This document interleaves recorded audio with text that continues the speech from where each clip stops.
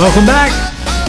We are now moving to chapter 19, Business 101, chapter 19, using securities markets for financing investing, online with Professor Joe Lane, Delta Community College's newest online professor. Oh, okay. Uh, chapter 19, I almost could call it chapter 18 continued. Uh, and, and what we're going to pick up here are some things that we really introduced in chapter 18. We just want to talk a little bit more about them in chapter in chapter 19. So this should be a relatively short chapter if I don't get off on a relatively long tangent and see how we uh, see how we can do with this. Okay. Let's go back to chapter 18. I know you're excited about that, but not for just for a minute. In chapter 18, we finished up the chapter talking about long-term financing. When businesses need long-term finances to meet certain goals and objectives they have. A new building, some more expensive equipment, a new plant, some big stuff. Okay. And we said there's really two ways that you can do long-term financing. You can do debt financing through selling bonds or borrowing from a lending institution. Okay, well, this is pretty simple. You go to a bank, you go somewhere, and you borrow the money. The other way you get it is through bonds. Well, bonds we want to talk about a little bit. Kind of what are bonds? You know, but kind of what are bonds all about? Then we talked about the other way that you can do it uh, is equity financing. This is ownership financing. You're selling ownership. And we said you can do equity financing one of several ways probably the most, by far, the most common way you do it is through selling stock, selling stock or selling ownership. And so we talked about, we'll talk about that in chapter 19. So I, I think for right now, I'll leave these two things up here because this is pretty much what we are going to be, uh, be dealing with in chapter 19. Let me put stock here. All right. So let's go to chapter 19. Looking at my beautifully prepared handout, by the way, chapter 19 is pretty short. That's a good thing, huh? Here's how I started off. Now, this long-term financing with debt, debt and equity, where do you go? Okay, now we've already said if you're gonna if you're gonna use retained earnings as equity financing, taking money out of the bank, you just take it out of the, the bank that you've accumulated with the company, you just do that. Uh, or you can go to a, uh, a, a, a financial a lending institution like a bank and you can borrow the money. But a lot of times, that's not going to be, you don't have the money in the bank or the lending institution might be charging you too much interest or whatever to get that money. So the way we're going to concentrate here is, you know, where do you go excuse me, you go to the securities market.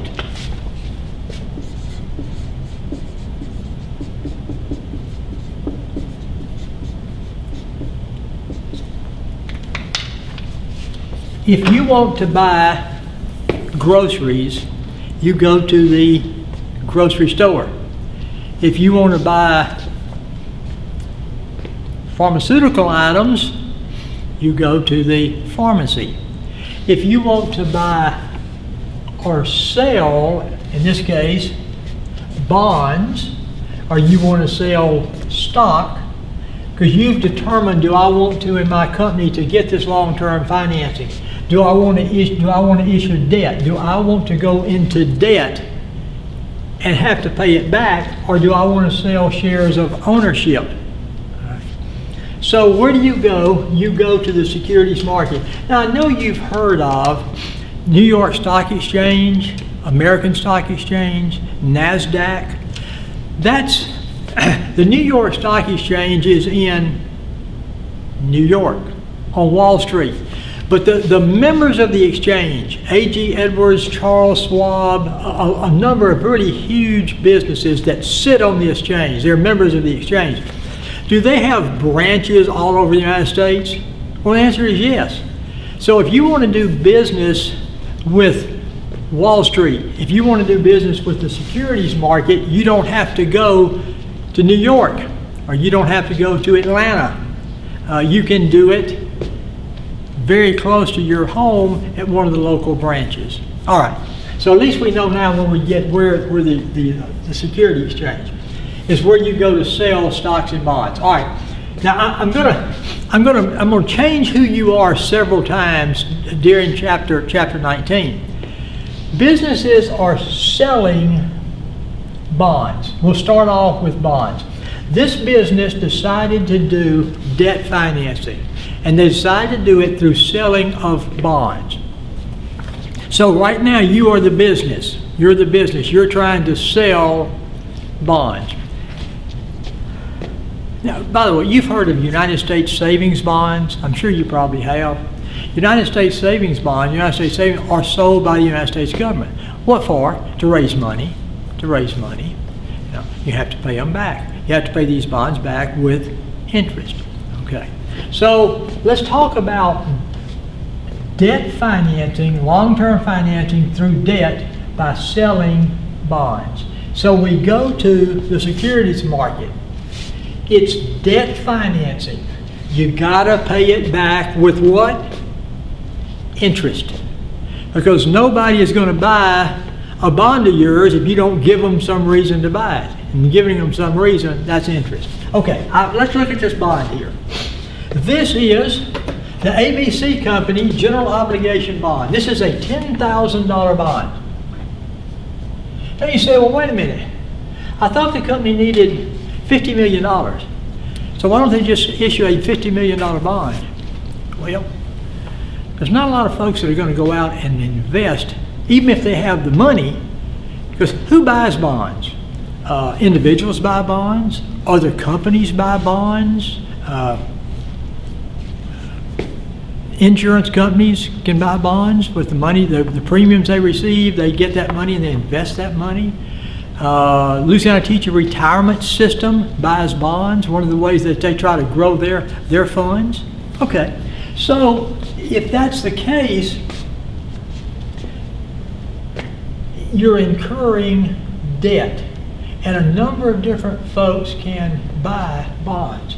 But most people either don't have the funds to buy $50 million worth, or they don't want to put that much in a one particular bond. So what do you do? Instead of selling a $50 million bond, you break it down into smaller denominations and sell a bunch of them that would total 50 million. That makes sense? Okay, so let's do this. This is a 50, uh, a $10,000, excuse me, uh, general obligation bond. That just simply means that the company is pledging itself again, you know, for the to, to repay these bonds. These bonds are, it's a $10,000 bond. It's payable in April of 2040, huh? So this is a 20-year bond. If you buy this bond, this bond can be cashed in 20 years. It's a 20-year bond. And it's paying 4.25%. You know, just, just as a side note, that's pretty good right now. All right. But it's paying 4 So that means if you buy, you know, if they sell this bond, the company sells this bond, they're going to get ten thousand dollars, and they're going to keep getting ten thousand dollars till they sell fifty million dollars worth of bonds. And so they're doing that for some type of capital investment. Now, now let's pretend you're the buyer. Remember, you can't sell a bond until somebody buys the bond. Who buys bonds? We've already talked about that. Could you buy a bond? Sure. You may already have some bonds. So this is a $10,000 bond paying 4.25% interest. Hey, that's pretty good. I think I'd like to think I'd like to have that bond. Or I may buy several of those bonds.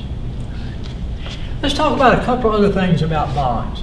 Do you have to do I have to wait the whole 20 years to get my bond plus the interest? No. It's going to be 20 years before it matures, before the $10,000 has to be paid.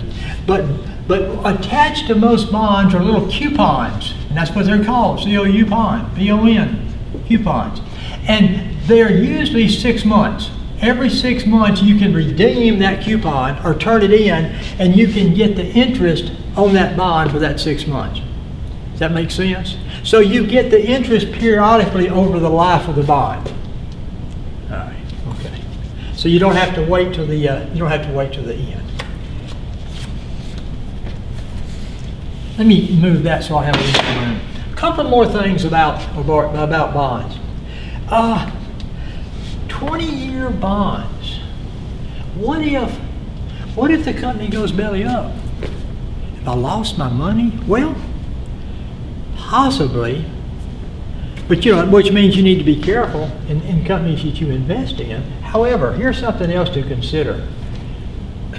Bonds are, are a pretty safe investment because let's say if a, a company goes belly up, are they going to have the assets of that company sold off to pay the creditors? Now, if, if you sell off the assets of a company, uh, is it going to be able, is it going to pay off every creditor that's out there that that company owes money to? Probably not, because if it could, you probably wouldn't have gone belly up in the first place. But when it comes to paying off people that the, the company owed money to, bondholders are right up there at the front of the line. They pretty much are the first, one of the first ones to get their money. So bonds are pretty doggone safe investments. Okay. So that's how business can can can uh, can finance by selling bonds. But again, they have to buy them. Now, just they have to. Somebody has to buy them. I just want to mention one other thing about bonds. You can get your bonds rated.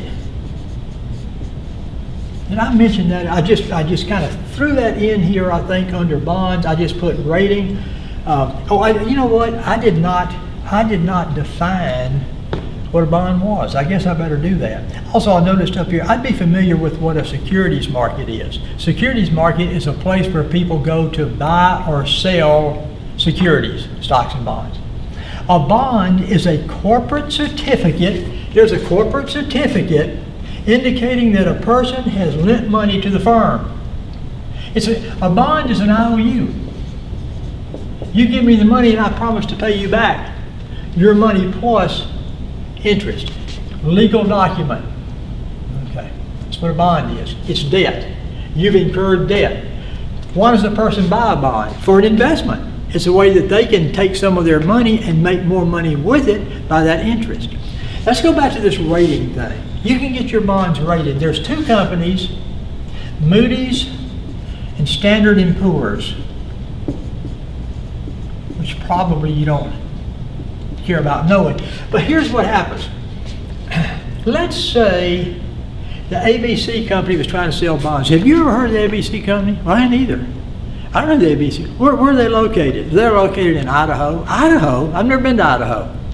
So, uh, you know, I don't know whether I want to buy these $10,000 worth of bonds or not. But if you're the ABC company in Idaho, do you realize that a lot of people may not buy your bonds because they don't know who the heck you are? But what if you could get a report card on your bonds? What if somebody very, very reputable said these bonds are good? Then you say, oh, hey, if they say those bonds are good, I'll be willing to buy some. Moody's and Standard & Poor's are both two companies out of New York. What they do is they rate bonds. They give bonds a report card, you know, like ABCDF. They use a slightly different rating system, but, but they, they, rate, they rate bonds if you're not very well known, and yet you're a really a good company, you're a good financially strong company, you would want to get your bonds rated. Now, if you're trying to sell bonds and you're the Joe Lane Shady Deal Company and you're not sure you're going to last long enough to get the money, you probably not better not try to get yourself rated because you're going to look really bad in a rating. You're going to look like a junk bond. Okay, so don't get your bonds rated unless you're, you know, you've got, you've got good standing. So you get your bonds. They check everything else about the ABC company. They check their financials. Are there any liens against the company? Are there any lawsuits against the company? Uh, they go way back. They really, really, really study this company. And based upon that study in that company, they give that bond, uh, they give that company a certain rating. Uh, you don't, ratings are not important, but, but there's a rating called a BAA1. When I was in the school system, uh, that was a rating that we always tried to get with our bonds. That's a pretty doggone high rating. Uh, ratings go up as high as AAA, but AAA is usually only the federal government can get a AAA. A BAA1 is a good rating. So if you get a BAA1 rating, that's, that says, hey, I'm a pretty strong company. So I can, I can sell my bonds at a lower percent. Now, let me give you an example. I've decided, let's, let's change this a little bit. I've got a really good rating. People know I'm a good, a good company. So I'm going to sell my bonds for 3.75%. I can kind of lower my interest rate because I'm a really good company. Let's say I got a let's say I got a C rating. That's not good. Well, that says this is not a particularly good company. So if, if I'm going to try to entice anybody to buy my bonds, I may have to give a pretty doggone good interest rate just to get them to buy. So, from a business's point of view, the lower the interest rate that you can sell your bonds for, the less interest you have to pay out to the people who buy them. So the higher the rating you get, the lower the interest rate that you have to offer. Does that make sense? That makes sense. Okay. So that's I think that's that's bonds. I'd be familiar with the fact I'd be familiar with rating bonds. I'd be familiar when it comes to rating bonds that the higher the rating, the lower the interest rate you have to you have to pay on your bond. And I'd be familiar with what a bond is, and I'd be familiar with what a securities market is. Speaking of these markets, these securities markets. Let me do this while I'm thinking about it. New York Stock Exchange, American Stock Exchange, Atlanta Stock Exchange, Chicago Stock Exchange, Dallas Stock Exchange. Do you think there's a lot of money that goes through these exchanges? Do you think there's a lot of money that goes through Wall Street? I like to use the term gazillions. There's lots and lots and lots of money. Okay. Could it be that everybody might want to cheat, do something a little bit illegal or underhanded? It's possible. It's possible. So you got to have some police. You got to have some police that regulate the, uh, the the securities market. These and they also call them security uh, market security exchanges. There's got to be some folks that who polices the securities exchanges. Here's who does it: the SEC.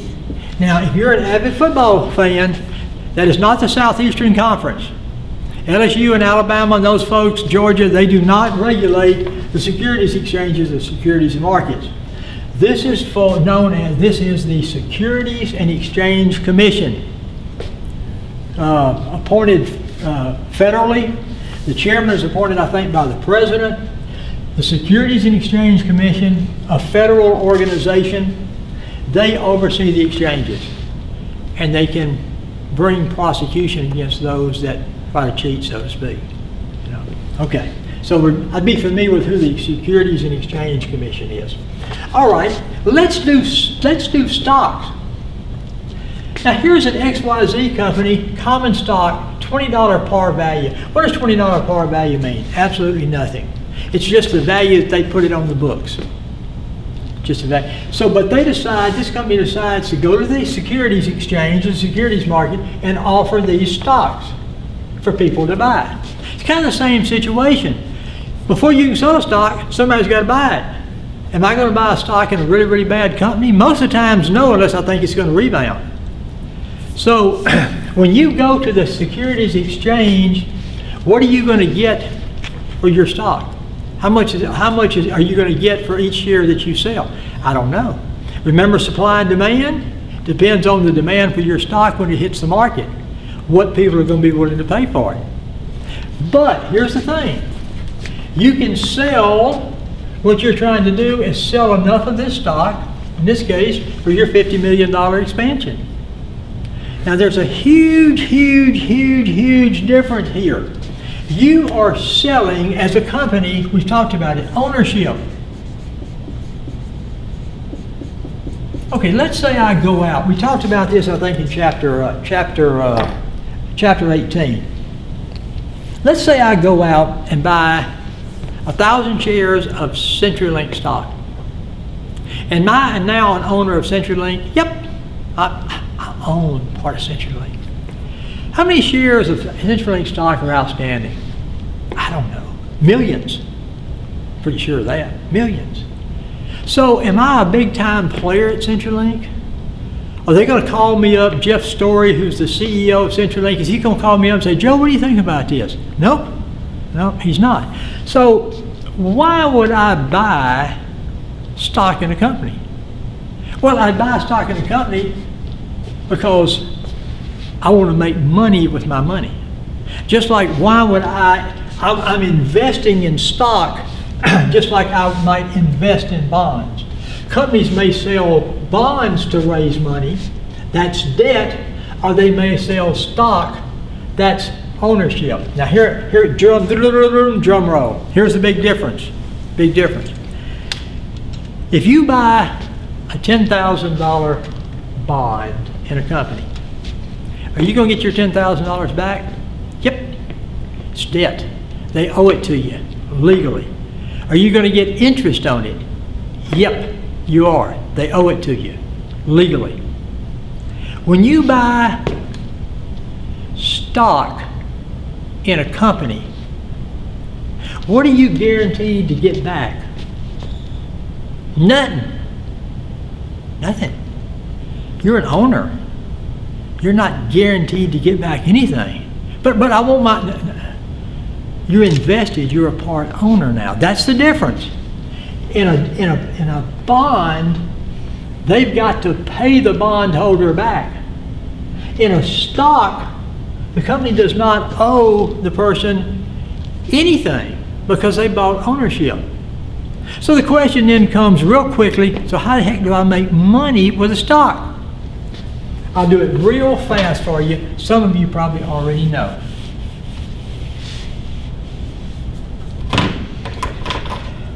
I buy I buy the stock at $20 a share.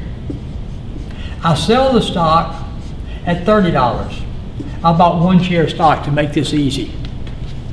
I made $10. That's a capital gain. So, one way you can make money with stock, buy it low, sell it high. Is it guaranteed to go up? Nope. Could it go down? Yes. Could I lose money? Yep. You could have a capital loss instead of a capital gain. Which is riskier, a stock or a bond? Say stock. Is it too risky to buy? No, I don't think. It, d- depends on the stock and it depends on you. Uh, but there's more risk in a stock than there is a bond. Which one is there the opportunity to make the most money? A stock. As the opportunity, investment opportunity to make more goes, the risk goes up. Let me talk about the other way. The other way that uh, you can make money with a stock. Let's say the XYZ company makes a lot of money one year.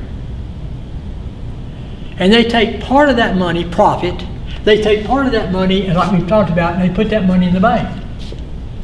Now, if you're a smart CEO of a company, and you've got a bunch of stockholders, a bunch of owners, would it be a good idea to pay, give them something since you've had a really good year? Because you know, if you don't, the stockholders can, through the board of directors, remove you from your, your position. So here's what here's what uh, companies do. If they've had a they don't have to, but a lot of times what they'll do. Let's say this company made hundred million dollars in profit. They take fifty million and they put it in the bank. They take the other fifty million and they pay it out to their stockholders. And here's how they'll do that.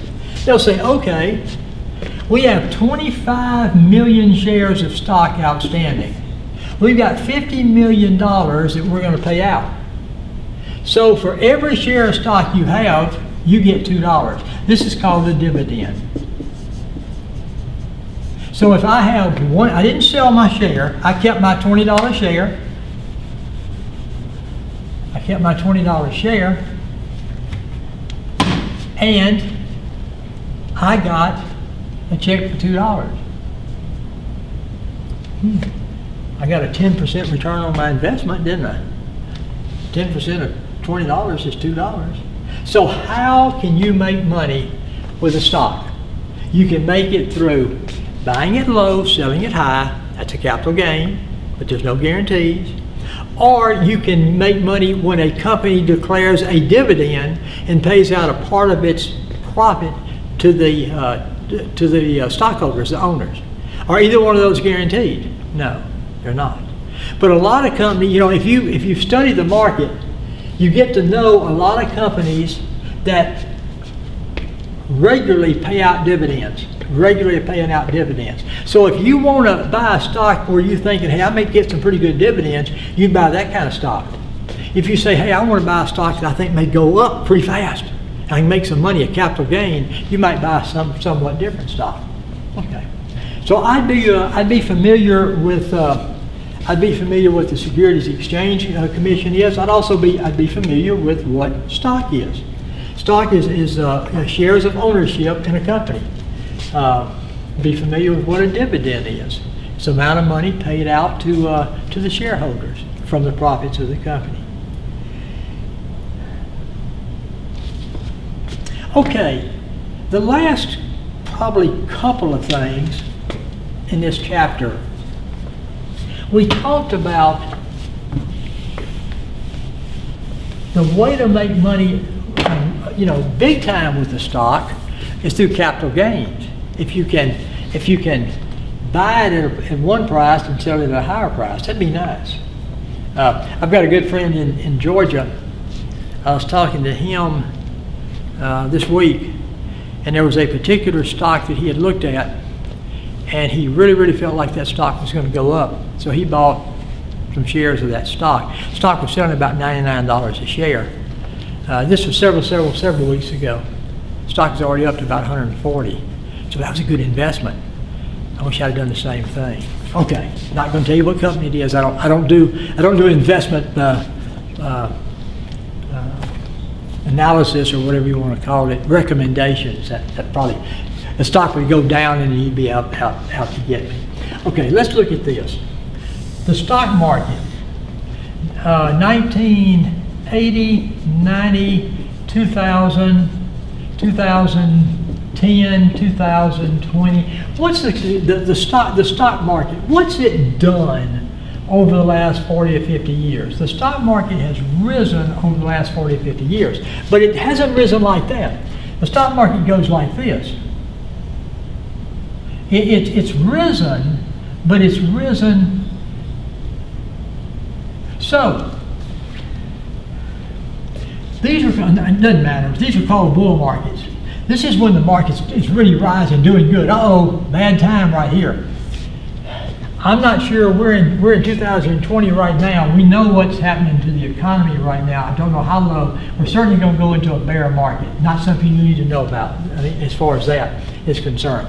But, but what happens is the market goes like this. So you got to, you know, what you want to do, if you can buy low and sell high, that's when you can really do a good bit of capital gains.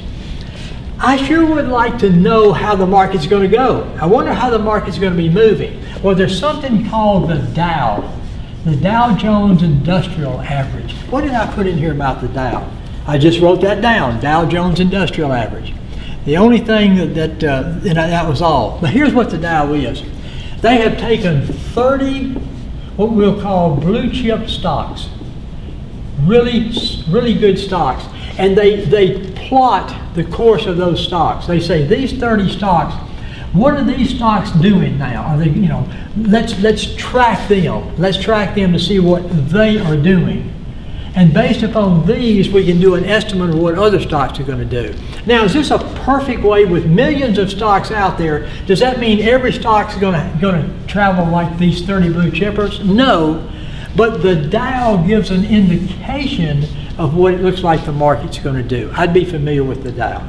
The last couple of things that I would mention in here would be this. I guess about, about three things. If you really want to be interested in doing stocks, now you can study it, study it, study it, study it, and go on your own and do it. You might want to consider going to one of these companies, Charles Schwab, A.G. Edwards, uh, Merrill Lynch, somebody, and use a stockbroker These are people that simply that simply help you as an investor invest in the way that best reaches your investment goals and everything. One of the big things now, what can you invest in? You can invest in stocks, you can invest in bonds, you can invest in T bills, you can invest in mutual funds.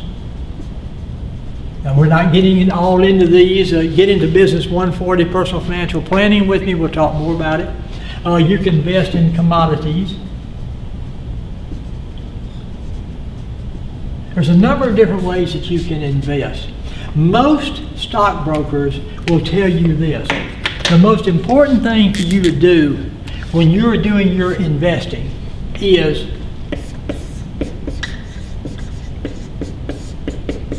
diversification. Don't put all your eggs in one basket. Oh, you can also, this is not exactly on the market, you can also invest in real estate. There's a number of different ways that you can invest. And so I would be familiar with, as already mentioned, I'd be familiar with what a stockbroker is. Uh, I'd be familiar with what the Dow is. And I'd be familiar with this. If you want to do some investing, if investing is of interest to you, I don't have a huge amount of in, interest in investing. Uh, I had a little more at one time, and we invested in mutual funds. But again, that's a that's another thing for another day. But if you're really interested in like in investing, a great thing to keep consider is diversification. Diversify your investments. Don't put all your eggs in one basket. Buy different types of stocks, buy maybe some bonds, buy different things depending on what your, your financial goals are, your investment goals are. Okay, that is chapter 19. Uh, we've talked about bonds, we've talked about stocks. I think we've talked about the things that you need to be uh, you need to be uh, familiar with. I don't think I had any no items in chapter 19 we made it through that one. We're, we're rolling here. We, uh, we don't have a chapter 20 and bonus chapter D as in dog to be finished with the chapters for, uh, for test number four or for the final. All right. So I think what we need to do is probably wrap this one up. You know the way I have to do that. I have to do a loud noise. So you can shout uh, at the same time I clap my hands, and we will be done with Chapter 19 on security markets, uh, financing, and investing. And I will see you in Chapter 20. Thank you.